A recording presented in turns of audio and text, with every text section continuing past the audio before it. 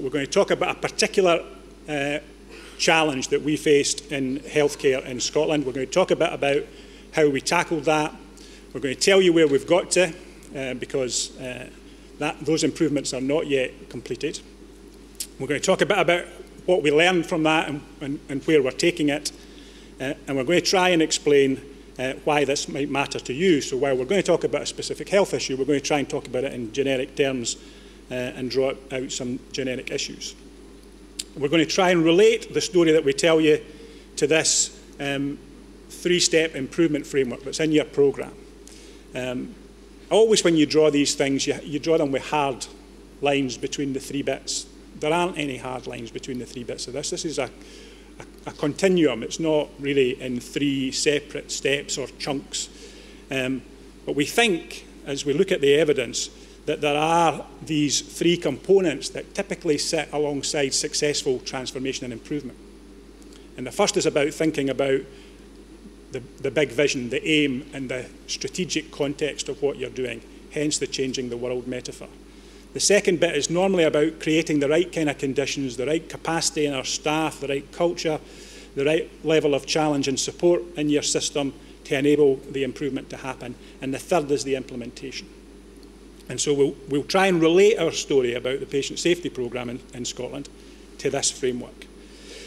To do that, there's going to be a bit of retrofitting. So we might as well just admit that up front. We did not have this uh, when we started, uh, at least not in those explicit terms. We did not have this when we started the, the, the um, improvement programme that Jason and I are going to talk about. But actually, um, it was remarkably easy to do that retrofitting, to see what we did in the context of um, this improvement framework. Because what this is really about is about piecing together what the critical components of those successful change programs might be and trying to give all of us in this room who are engaged in the kind of work that Mr Swinney was talking about some kind of shared language and approach so that when we talk about improvement, we're all talking about roughly the same kind of thing. The other thing we'll try and do as we go through that, this is pick up these six questions. These are again in your programme. If you look at page 12, you'll see these in your programme. You, you can take them away with you. Uh, and in a number of slides, you'll see in the top left-hand corner of the slide a number. And the number relates to which of these six questions we thought, we, uh, in hindsight, we were addressing when we did what we did. Uh, so I'll come back to the improvement framework at, at the end. Uh, but in the meantime, I'm going to hand you over to Jason, who's going to just talk a bit about uh, some of the language that we'll use here, because we're conscious we come from a healthcare uh, environment, and we'll talk about stuff that uh, actually I really know what we're talking about, so there's a fair chance that you might not either. Um, and then uh, he'll get a bit of audience interaction potentially. I'll try. Morning, everybody. Well, that was an interactive moment.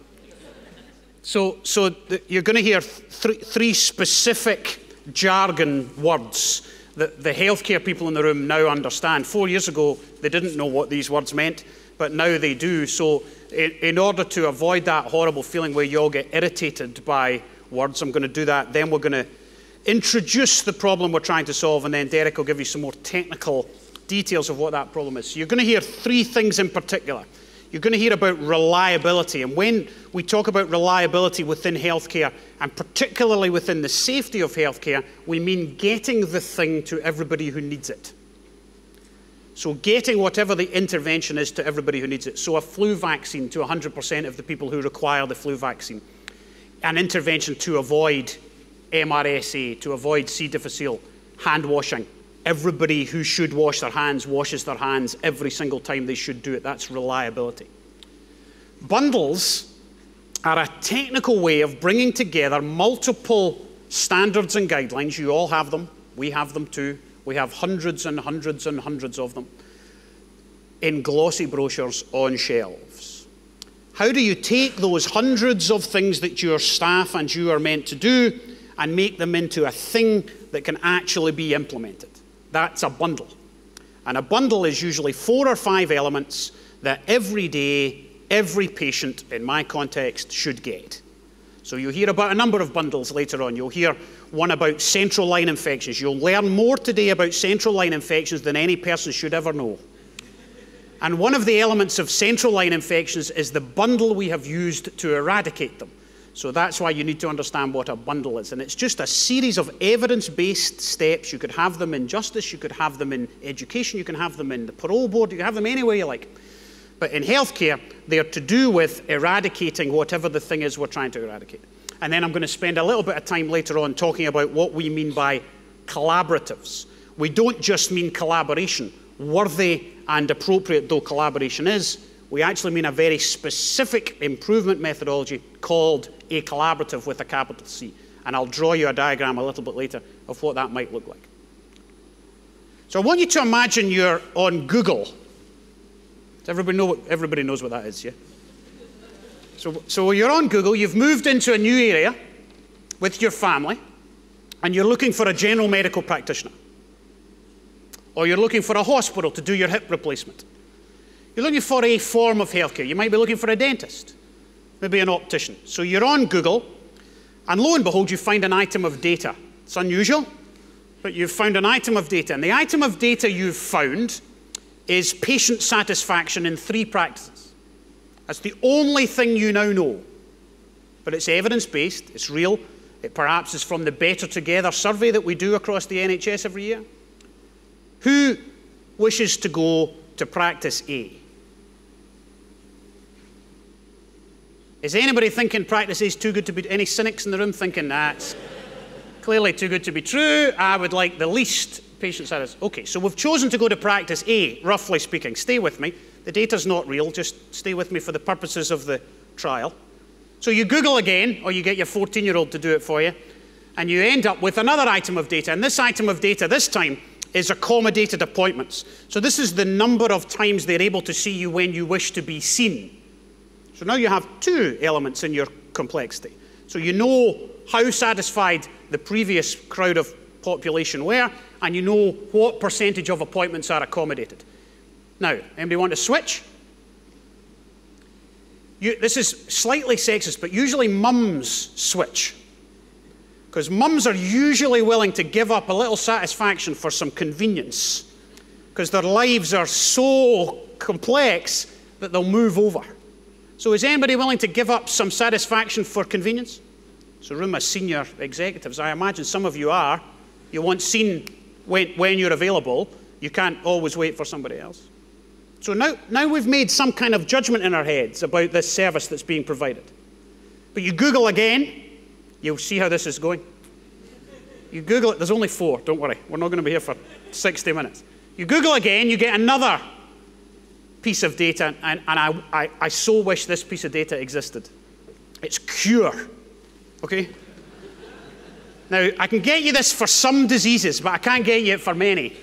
But this is cure. So now you know this is the people who got better. So now you know satisfaction, accommodated appointments, and whether they're flipping going to fix you or not. That might be important. That's outcome measure. So, anybody want to switch? Or are we just going to take, we're going to think now, it's getting a bit complicated. I'll just take the one that looks kind of average. I'll take kind of the best. Now, the, the, some, some crowds suggest that the least, the patient satisfaction will clearly be a man. This will be a man doctor who's horrible to everybody, but actually gets the best results. So I would never suggest such a thing. Eh, when you show this to rooms of physicians and surgeons, the surgeons say, well, this is us. We're horrible to everybody, but we're really good. And the physicians say, well, we're lovely to everybody, but we're a bit rubbish. so you, you know, you've made some choices. Now, the last item is going to be the most shocking for you, and going, it's going to lead us into the challenge which we were trying to solve. Because healthcare is not as simple as perhaps you've been led to believe. And the last item you find on the web, and you can increasingly find this number, is harm free care. So, not the disease I go with, but will I be harmed by the care I receive? Will I get an infection if I go to that hospital? Will I fall over and break my hip if I go to that general practice and they don't have a health visitor that fixes me the way I want? Will I get self management in the way I should be allowed to get self management, or will something interfere? So now you know the harm free care rate in those units. So in practice C, 25% of the patients are harmed by something that the healthcare system does to them. In practice A, about 5% are harmed. Now you're interested. So now you've maybe changed your view about where you want to go. That's the challenge that the Scottish Patient Safety Programme is trying to solve. Derek.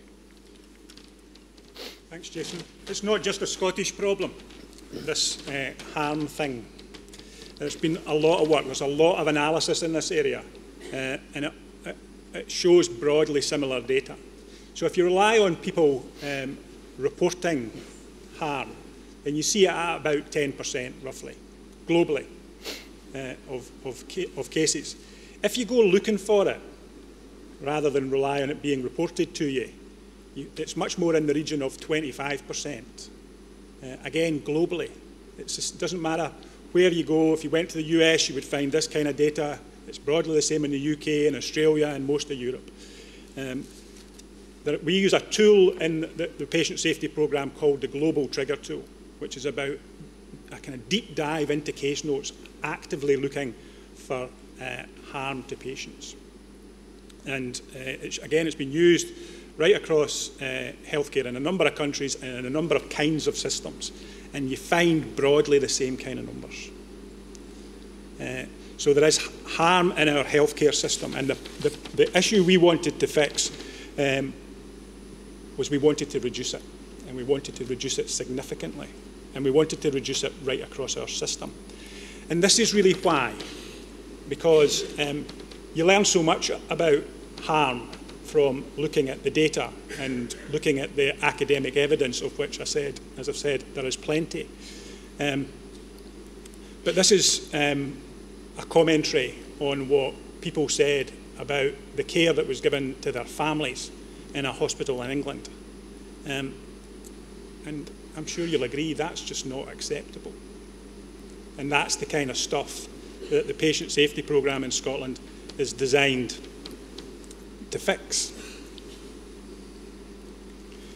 Um, we're conscious too that we, have other issues to resolve. There are a, a range of um, challenges for us in healthcare. Uh, Scotland actually does reasonably well. Um, Graham Dixon was showing me in, in, in the, uh, in the coffee lounge before we started an OECD report that suggests healthcare in the UK is amongst the best and healthcare in Scotland is better, in my view. I would say this, wouldn't I? Better than in other bits of the UK. Um, but we've got some issues that we need to resolve. Uh, and we were in a hurry to do it. So that suggested to us that relying on um, kind of standard practice wouldn't really cut it for us. Um, Again, this is a piece of academic research that shows it takes 17 years to get 14% of evidence into practice. Um, we're looking for much more evidence into practice, and we're looking for it more reliably, and we're looking for it more quickly. What did we do to try and, and solve these issues? Um, we found a solution in quality improvement defined in these kind of terms, the combined and unceasing efforts of everyone, healthcare professionals, patients and their families, researchers, payers, planners, administrators, educators, to make the changes that will lead to better outcomes, better system performance and better professional development. Um, a really challenging set of issues to resolve, uh, but we felt that this was a whole system uh, problem and it needed a whole system solution we did have some options where, and we did think about uh, options. We've been trying, as I said, the evidence base for this is quite long lasting. People have been trying to sort these things for quite a long time. Uh, we could just keep on doing what we were what we'd always done and just do it harder or run faster. Um, but we didn't think that would work. Uh, it hadn't worked previously. History is quite a good predictor of future success. Um, there's always a demand for more data. If only we had more data, um, that, that would tell us how we could solve this, uh, this problem. Um, but as Jason's shown you, sometimes the data shows you some different stuff, stuff that you find hard to, to uh, comprehend enough. And data is absolutely crucial to the success of the patient safety programme. But it's not relying on old data, it's generating new stuff. We could have run a pilot, uh, but in a way we already had that. Um, uh, the Health Foundation, which is a UK level um, charitable organisation uh, aimed at um, driving improvement in healthcare in, in the UK, ran a programme called the Safer Patients Initiative. Uh, and NHS Tayside had successfully bid for uh, a place on that programme. Uh, and so we had in Ninewells Hospital something of a prototype for this. Uh, so that wouldn't have added a great deal of value running more pilots or prototypes. We could have done what they did in the United States, which was to run a campaign. Ran a campaign called the 100,000 Lives campaign, and they ran it like a kind of political campaign. Um, but what that enables people to do is opt in or out of the campaign. Uh, and uh, our sense was, why would you run something to fix a whole system problem and enable people to opt in or out? And that was again why we didn't let boards and hospitals decide what to do. That's kind of what they did in England. Um, everybody needs to do something, but there's no real specificity about what it is. And so what we decided to do was run this national improvement programme that was mandatory. Everybody had to do it. But what we did do is give people some um, uh, uh, latitude as to how they did it and in what order they did things and how quickly they moved towards having the programme fully implemented. Um, one of the things we've uh, set up for the end of this is that we're going to invite a commentary on some of these kind of things from people I've already uh, uh, um, invited to do so. And one of them is Fiona McKenzie. And Jerry, you weren't around at the time, or I would have asked you to. So I'm giving you warning now that I'll ask you to comment on some of this stuff as we get to the end of it. Um, so why did we do what we did? Um, the context, the context was right for us. There was, a, there was an appetite for this. We had uh, some of those um, pieces of the um, seven steps to change the world already in place. Um, we could. You know, it's one of the benefits of being a relatively small country. We could do this nationally.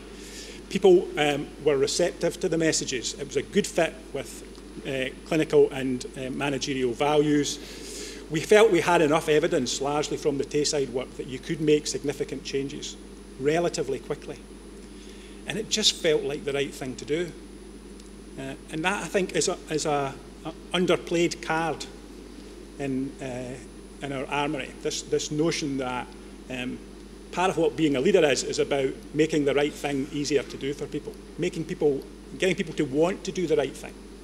And we felt this was the right thing, and people were telling us they felt it was the right thing.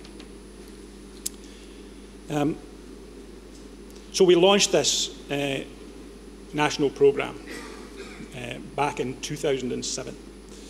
Um, at that stage, we were still a long way short of having a convincing answer to the six questions. We were okay on number one. You know, we'd done some thinking about what it was we were trying to do. We had some sense of number two because we could use the work that uh, Jerry and his colleagues had started at, at Ninewells and we could see the impact of some of those. But we were keen to engage with people about what those improvements might be and we did make some adaptations as we went along.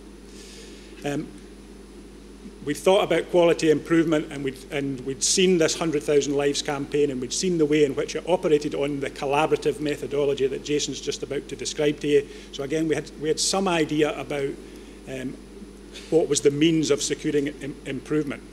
But we couldn't really do very much of the rest. Five was a particular challenge for us because we had a handful of people who really knew what this was about. Um, and we weren't absolutely sure that we would be able to spread this. And, and, uh, and spread and sustainability has been a significant challenge for us uh, as we went along. Two quite unlikely people kind of sum up how we were feeling back in 2007 as we started this Im improvement work. One of them was a small American comedian with a large cigar uh, who made this observation about complicated stuff. And it is indeed too bad that the people with all the answers are busy driving cabs and cutting hair.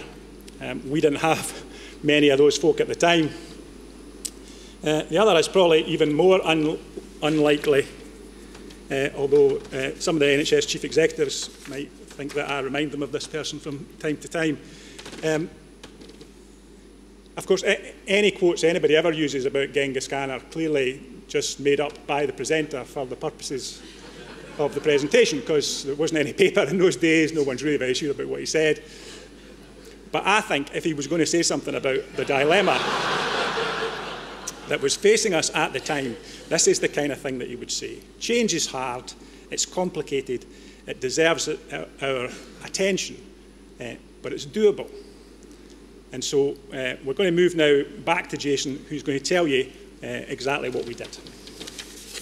So there's a, there's a challenge now. Do I show you results first, or do I show you how we did it? So we've gone for how we did it. So you're going to have to hold on.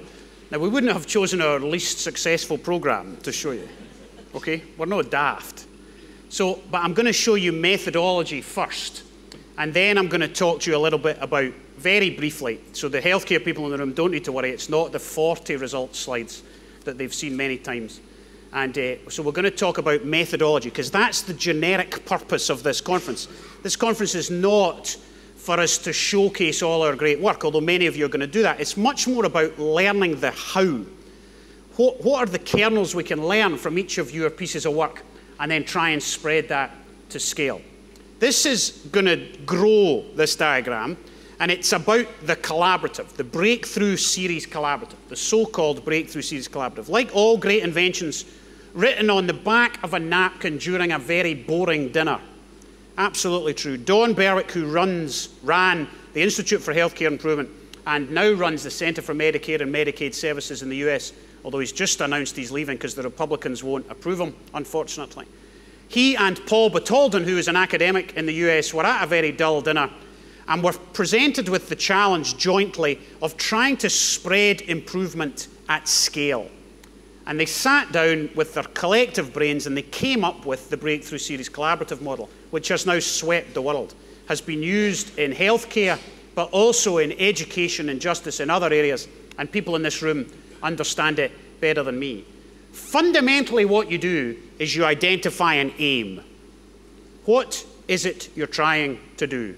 Notoriously simple, but quite difficult. What is it you're trying to actually do? So we know in the safety program we are trying to reduce harm. We've just shown you, you maybe didn't know until you came today, that up to 25% of patients in hospitals are harmed. 10% of them today roughly have an infection. So there's 10% before you kick a ball. If you add the ones who fall over and break their hips, the ones with pressure ulcers, the one, you can see how it adds up. Avoidable harm. So you select a topic, you bring together experts, people who understand that topic. So you bring together people who know how to stop harm, the infection control people, the critical care doctors, the people who build the facilities in our hospitals. All the experts come together and you decide how you're going to do those changes. So you'll notice in the six questions, one is about what are the changes you're going to make? Do you have a collective view of what is evidence based and what functions? You then bring together teams. Now, the, the classic collaborative model says up to 100 teams. We had a few more than that. We've got 144,000 employees. We've got 15 delivery systems within the whole structure. And we met here, in fact, next door in the big room, 800 people in January 2008 to start this process, 2007 to start this process. And we had a lot more than 100 teams spread throughout the country. We, are, we were at the time, we think, the biggest collaborative in the world. And uh, there was a challenge in just corralling those big numbers. You get them to do pre work. So the pre work is about getting baseline data and about beginning to read about improvement. One of the crucial points is we're not teaching these people to be better at their job. They already know how to do their job. We're teaching them how to do change and improvement and the science of change and improvement, not how to fix infection. You bring them together in what IHI call a learning session. A learning session is just a teaching environment. So you bring them together for two days and you teach them the model for improvement, which I'm going to show you in just a second. And then they spend time in an action period. And action periods are just work. It's just a fancy word to try and stop it sounding like work, but it's just work. And in that action period, they go away and they test these changes that they've learned from one another. And then the cycle goes on. And you do that multiple times. So they meet roughly once a quarter, once every four months. and they take the changes, and gradually the, the, the system changes, the culture changes. In learning session one, it's very much us on the stage teaching. At learning session two, everybody hates us because they've gone away and tried it and it's really hard and actually they feel very frustrated. At learning session three, there's no stopping them. They're up on the stage themselves, showing their own results to their peer group, and they're learning from one another, and you almost can stand back completely and just facilitate. Give them a little bit of content, but fundamentally they just run with it themselves. During that period, you're supporting, during the learning sessions, You're, in between the learning sessions rather, you're supporting them with a whole lot of other stuff. So you're having calls every week or every month, depending on the subject. You've got an email listserv which everybody can ask questions, which gets very active around certain subjects.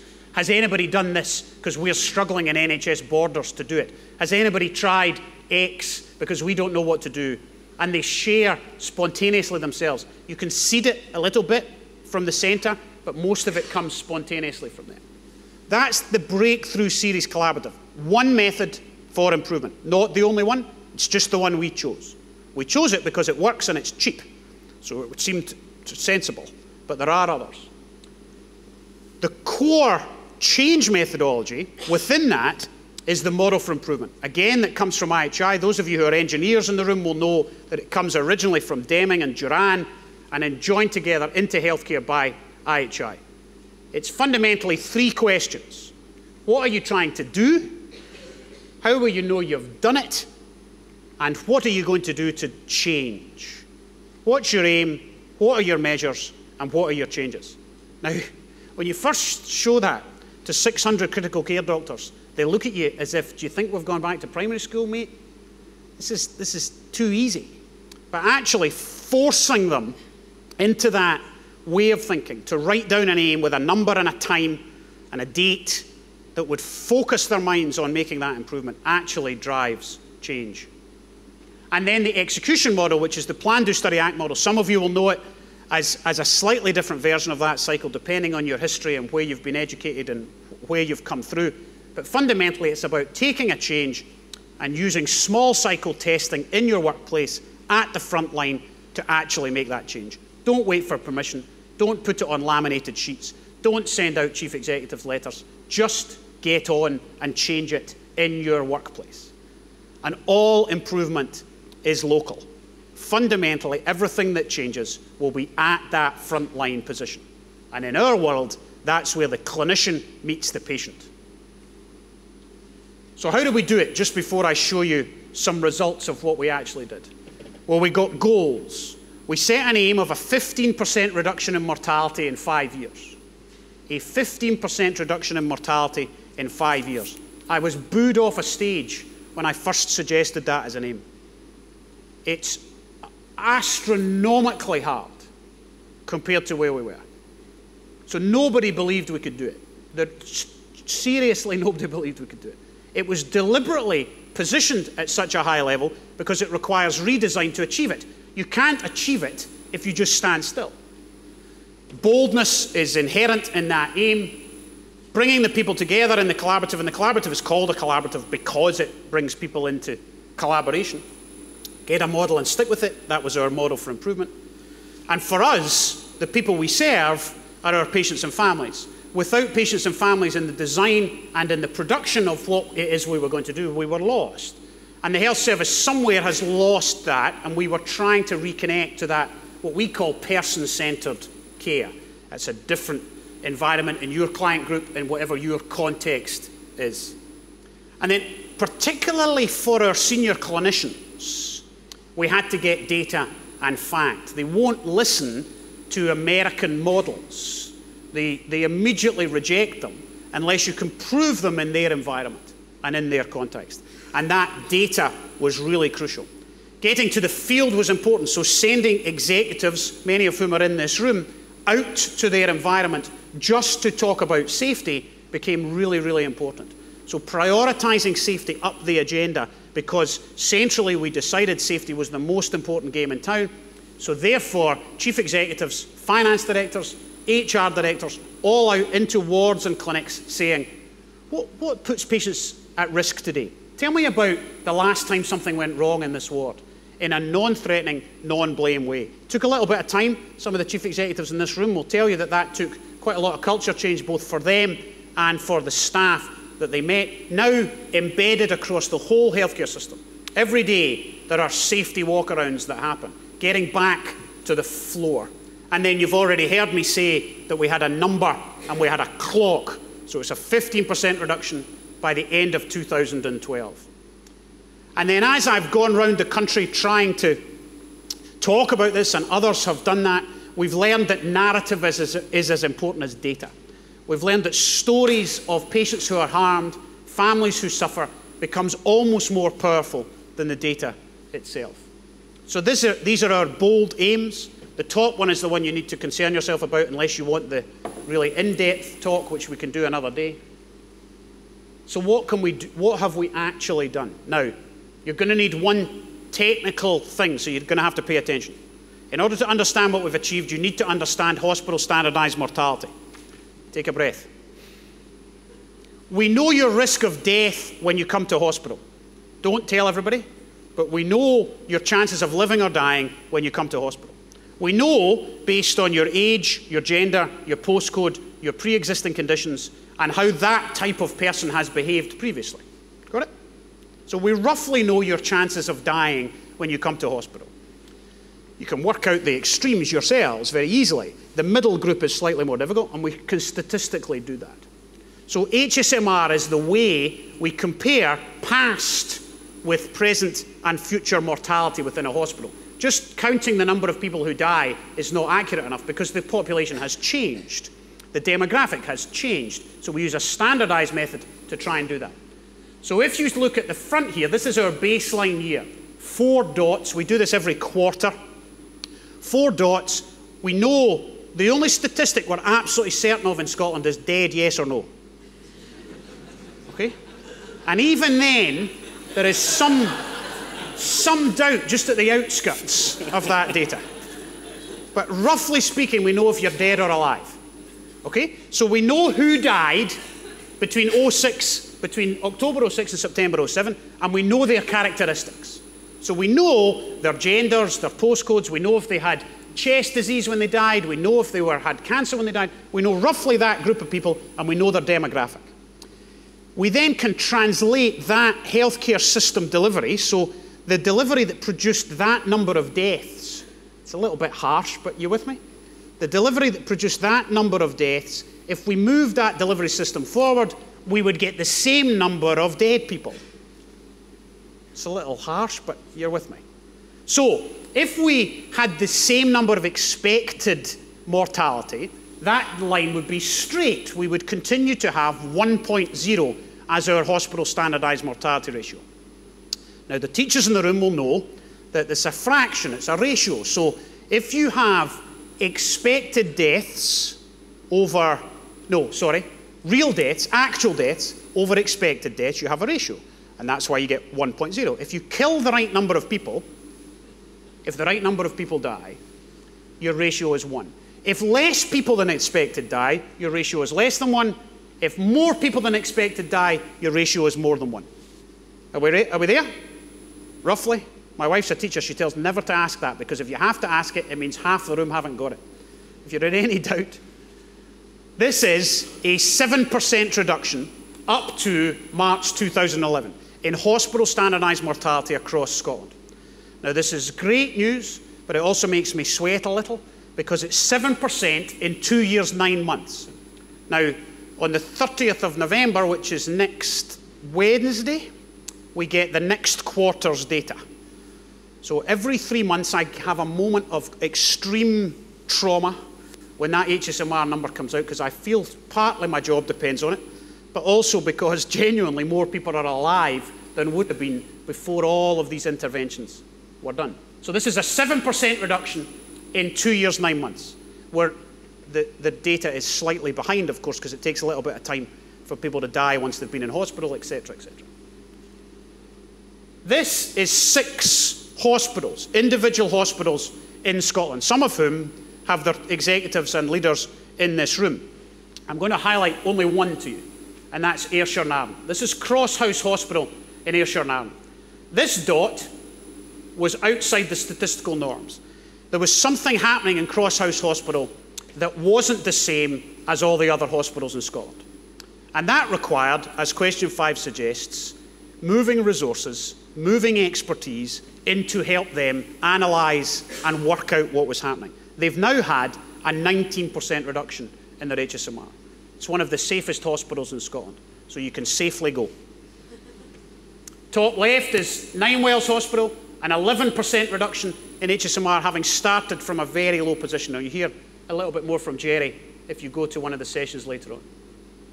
And then, very quickly, what have we done across the whole of Scotland? So, I told you you would learn a little about central line infections. If you've ever been or had a relative in critical care in an intensive care unit, you've probably seen a central line infection. A rubber tube that goes into your neck that supplies a route in for drugs, for blood, for anything you require, and a route out for blood, for tests, for blood pressure, etc., etc. It's hugely invasive, and we try not to do it unless we have to. But when you do it, they often get infected. They used to often get infected. If they're in for a long time and the dressing becomes a bit scabby and it's not cleaned every time, it's a hugely common intervention. When I trained, we were taught that central line infections got infected. It was unfortunate, but that was what happened. It was a side effect of care. Scotland has 21 intensive care units. It used to have 30 central line infections a month, roughly, across the whole country. It now has almost none. So, this is the first month where we were able to say there was a 30 day period with no central line infections. We are the first country in the world that is able to say there are no central line infections in Scotland. There have been none in June and none in August. When we told the Cabinet Secretary there were none in March, she said, What happened in April? That's the world in which we live. but, but you just need to live with that. I think she was partly joking, not entirely. 18 intensive care units of the 21 have had no infections in 2011. None. I, those of you who don't work in the healthcare system don't quite realise, I don't think, what an achievement that is for these frontline teams. It's truly astonishing. And the three who have had them have had a total of five altogether. We were, getting, we were having 30 a month, we've had five in a year. We know the names, we know the ages, we know the genders, we know the demographics of each of these individual patients. There's no way we would have known that before. Similar infection, but this time with patients on ventilators. It's a 62% reduction in ventilator infection. This is mortality in intensive care units. This is whether you live or die when you go to critical care. About a third of people who end up in critical care die, so a 14% reduction in that number is dramatic. This is C. difficile, a very common infection that you'll have heard has had a lot of political uh, will to fix. And the Scottish Patient Safety Programme has not fixed any of these things alone. There's a whole load of other things feeding into this. There's a healthcare associated infection agenda. There are all kinds of other things. So please don't relate cause and effect exactly with the safety programme. But that's a world class reduction in C. difficile across every ward in Scotland. Now, Lothian has 280 of them. Glasgow, to tell you the truth, we're not entirely sure how many they've got. They've got a lot, more than 280, because they're even bigger than Lothian. But what, there's a huge number of, the, of, of these places in this complex environment. So let me go back briefly before I hand back to Derek about how, how we've done this.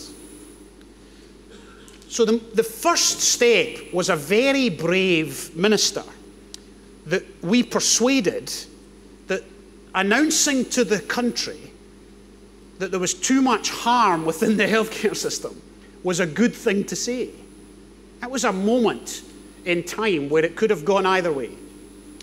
And it was right at the beginning of the last parliament where we were able to say, look, here's the problem, but also here's the solution. Here's the improvement solution which we will use. Here's the Tayside example. Here's the leadership in Tayside that have delivered this. And here's what we want to do nationwide. And then the leadership within the chief executive community, within the chairs, within the medical and nurse directors, within the healthcare system, also persuading them that this was a good thing to do and to prioritise. And then you've already seen, I think, I hope, some of that execution model. Donabedian, who's a, one of the fathers of quality improvement in the world, said it much more succinctly than me get the structure right, get the process correct, and you'll get the outcome correct. You have, as we have in the health service, the best professionals in the world. I genuinely believe that we have the best public service professionals in the world. But it's no longer enough. Just producing highly qualified, highly technically able, and nice people is not enough. They have to work in this hugely complex system which we've established for them. And it's really, really hard. That's what going to the front line teaches you. So we've had to build capacity and capability for improvement, not for teaching or for putting in central line infections, putting in central lines. We've had to teach improvement and change to a cohort of the workforce. At some level, all the workforce need to understand it, but there's 144,000 of them in the NHS. So, another level, we need experts. So, what does that mean if we're going to build a sustainable infrastructure that produces highly reliable quality improvement excellence? And who do we need to teach? Well, we've spent time with non executive board members, we've spent time with executives, we've had the executives and us spend time with their managers, we've spent a lot of time with clinicians, with frontline workers from the Royal Colleges, who are a stakeholder, down to the frontline microsystem teams who drive the change at the front line. So, how do you know how many to make? How many improvers do you need? Well, there's a number of pieces of literature that tell you roughly how many you should make. Brent James, who runs a system in Salt Lake City, Utah, a wonderful healthcare system, one of the best in the world, he says you need the square root of the number of your employees as experts in change and improvement. Now, you don't take these people out, they still do their job, but you train them as improvement and change agents. There's a science behind how to do that improvement and change.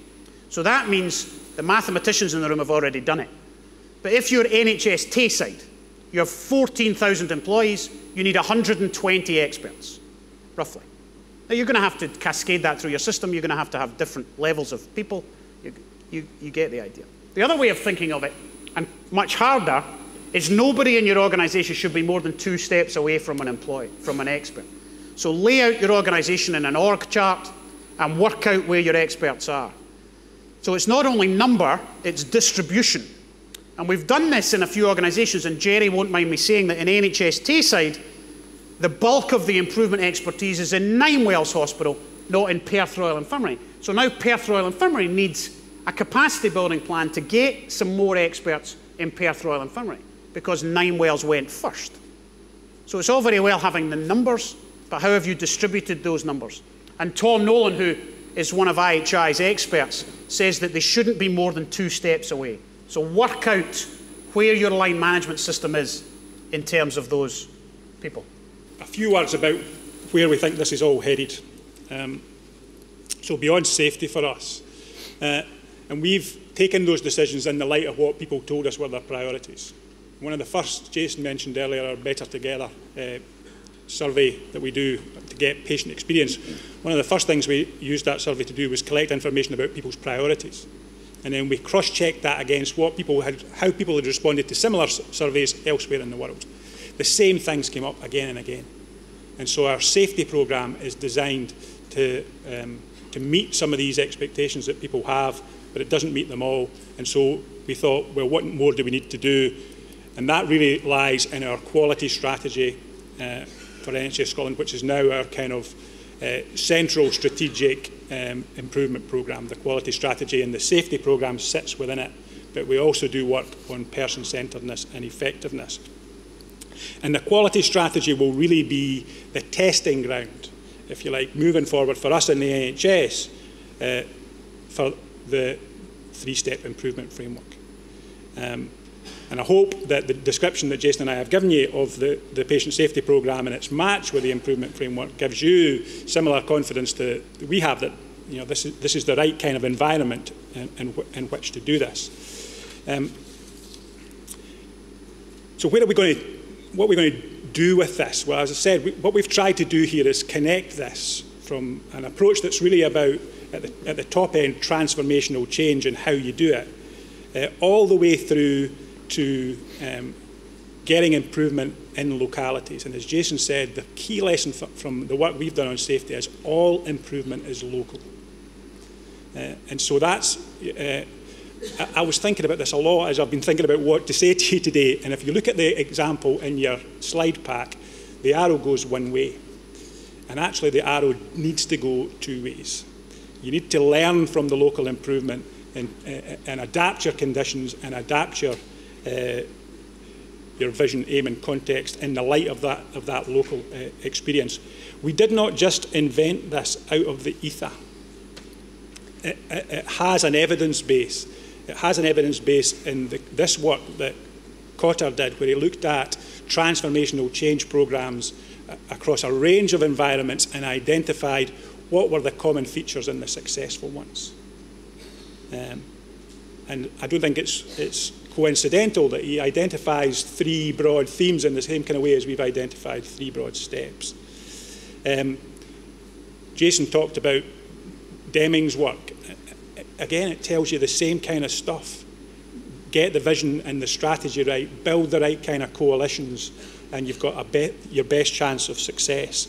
And so it's an interpretation of that evidence and an attempt to, to place it within that strategic landscape about public services reform that Mr Swinney described that led us to the seven uh, steps to change the world, the seven things that we would have to do, the, the telling of, of uh, the, the, sorry, the clarity about the compelling vision, the telling of the story, uh, the clear articulation of um, the fact that we've selected the right things to do that will enable us uh, to, to uh, secure the improvement.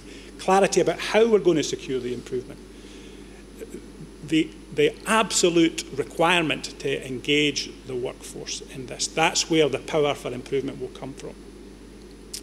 The need to make the change work locally but reliably. So that that notion about thinking about how you deploy your capacity and how you spread. Uh, and the fact that um, the, the resilience of this and the authorisation for it is provided by the Guiding Coalition. And one of the things we, we're trying to do in this conference over the next day is help build that Guiding Coalition. I think we need to be part of the Guiding Coalition. Um, there's uh, uh people, hopefully, people who have been to previous uh, Scottish Leaders Forum meetings will be familiar with that, that kind of model. Those of you who are not, there is some underpinning for it set out in your pack. I think it's on page 11. The second bit, the, the creating the right conditions, these are designed to be generic. Um, and I'm, I don't, I'm not making any apology for that. They're specifically designed to be generic, to apply to a range of um, environments. They're designed to apply to any implementation, any implementation theory that you might have. I hope Jason's shown you that they apply if you decide to do a collaborative. But equally, I think they apply if, the, if your choice of improvement methodology is to performance manage, if your choice of improvement methodology is to learn from uh, scrutiny, if, if it's designed to be used for self-assessment and for challenge, uh, and it's designed to get the, the leverage points for improvement. It won't be perfectly designed. Uh, this is something that we're trying out. Um, and uh, it will be much more powerful if we all try it and we all uh, learn where it works and where it doesn't, and then we adapt uh, as we go on. Um, this has given people some trouble. Um, the fact that what we're recommending to you is that this is a bundle, as Jason uh, expressed it. Um, that, we are, that we think that this will be at its most reliable if you do all of these things. Uh, so that improvement that Jason showed you at Crosshouse Hospital uh, came from a realisation that uh, there were a bundle of things that they could do largely around uh, earlier um, rescue of deteriorating patients uh, that would lead to the improvement. But it was the fact that they did all of the stuff that really made the difference. So this will be hard. It will be hard to, to, to, to, to answer yes to all of these questions. Um, but my uh, advice, my, my um, proposition to you is that it's worth the effort. Only proceed if all six are yes. Satisfy yourself. Um, be explicit about the choice that you make. The, the, collaborative and the model for improvement won't be the right thing to do in all of the circumstances. There, there will be other ways. You're going to listen today in the course of these parallel sessions to some of the alternatives to the collaborative methodology. The key, I think, is to make your choice on the basis of the evidence and stick with it. Um, think about these things. Um, there are three key components to this. Do you have the will to make the change? Do you have the ideas that will support that will? And will you be able to implement? We, as you can see that this is another uh, Institute for Healthcare Improvement slide, hence the fact to talk about execution in America. We might talk about implementation.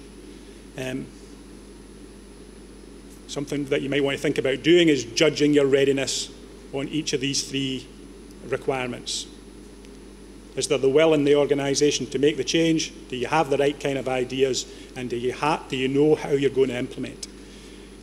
Commonly, uh, implementation is the thing that people either don't think about in advance or don't have the capacity uh, to do.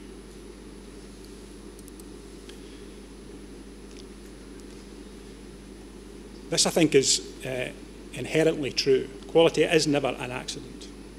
Uh, it requires uh, good choices, um, the right kind of intentions, and intelligent direction, effort, and execution. The, other, the final thing I want to say before we get our respondents to, um, to say something, um, and then we try and capture some, some lessons from this, uh, is be ambitious. I think that was the, the thing I took uh, most clearly from what John Swinney was saying to us. That, that just because we're not doing um, what uh, others might describe as radical stuff doesn't mean to say that we are not ambitious. What could be more ambitious than wanting to change the world? So be ambitious. Be more ambitious uh, than these people uh, who uh, Jason and I came across when we happened to be in the States in the same time 2005. We together are capable of much more than adequate yearly progress. Um, that's been a real kind of whistle-stop tour around the Scottish Patient Safety Programme. We hope it's given you some food for thought, some things that you will want to, to consider as you get into your um, parallel sessions. And also, um, Jason and I will be around if there are questions that you want to ask, you know, please, please come and ask them.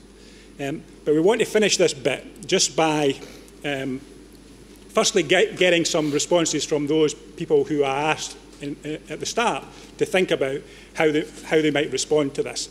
And we're going to start with two people from, uh, from the NHS who have been directly involved in this stuff. Because you might just be listening to Jason and I say, that's it's, it's those guys' job to talk about this in glowing terms.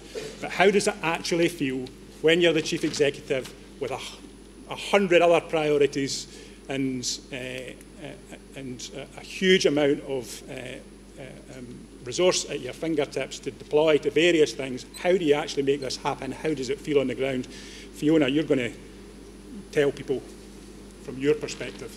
A couple of reflections from me. Um, first time I went to the, the, the big leadership event that happened here, uh, I remember being very sceptical about this because we had an American uh, presentation. It was one of these, yo, Scotland, are you ready? And I thought, oh God, you know, how is this going to go down when I get back to the ranch? I couldn't quite see the application. And it's a really serious point because it is about the cultural bit being right.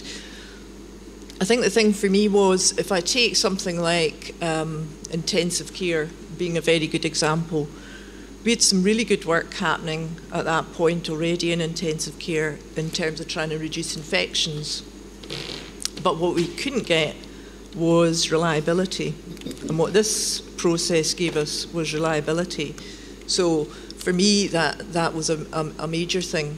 Um, I think also thinking about how you, how you measure improvement and how people sort of got excited about their data.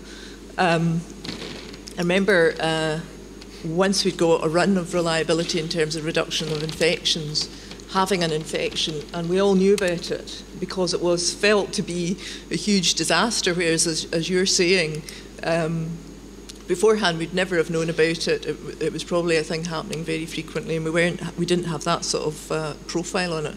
Other reflection, uh, Jason, uh, about the walkabouts.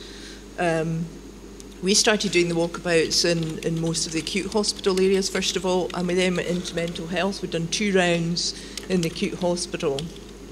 Interestingly, by the time we're doing the second round, the whole culture and the way of discussing issues was different. Um, I hadn't even realised that it got different till I went into mental health, which generally you would see would be a more demanding environment. And people there were sort of saying, um, oh, everything's fine here, we've got no problems, nothing that we want to discuss. Whereas we'd gone through that entire loop uh, in the acute side, and people were much more reflective about what they were doing, much happier to talk about things that were problems, and we were much more able to take these problems away and resolve them. Final thing, um, probably the board itself, um, getting the focus of the board away from just looking at things, waiting times. Sorry, I've had a bad throat.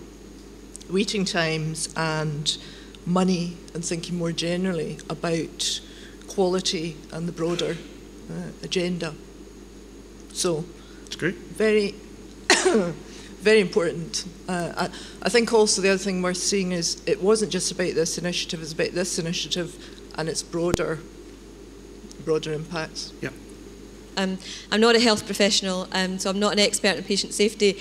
But one thing I did take from the presentations was the inclusive nature of the approach, the fact that staff were involved, it felt the right thing to do, and that's very much because staff know their job, have the professional expertise, and I think that's the one thing that I've taken away from the presentation.